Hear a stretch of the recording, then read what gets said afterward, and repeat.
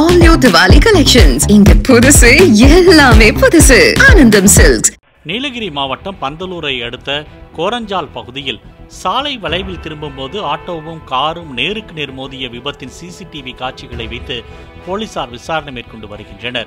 கேரளாவை சேர்ந்த நபர் ஒருவர் தனது மனைவி மற்றும் நான்கு வயது குழந்தையுடன் உதகைக்கு சுற்றுலா வந்த நிலையில் மது போதையில் காரை இயக்கியதாக கூறப்படுகிறது.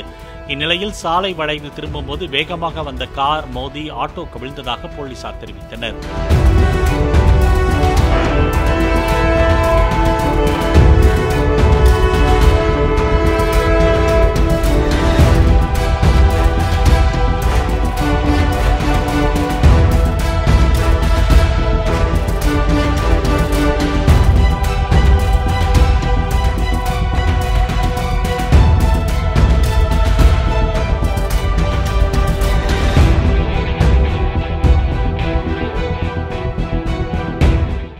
All new Diwali collections. இங்க புதுசு எல்லாமே புதுசு ஆனந்தம் சில்க்ஸ்